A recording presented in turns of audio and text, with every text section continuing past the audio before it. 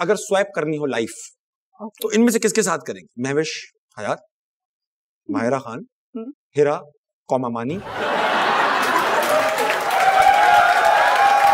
मायरा खान। माहिरा खान बनना चाहेंगी आप। सिगरेट पीती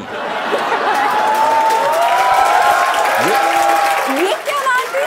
अरे स्कैंडल आया था ना मैं तो क्या लाफ्टर ये कहाँ से आएगा फिर? हाँ माहिरा खान बनना चाहती वाह वाह। खान ने शाहरुख खान के साथ काम किया ना। ये भूल गए आप।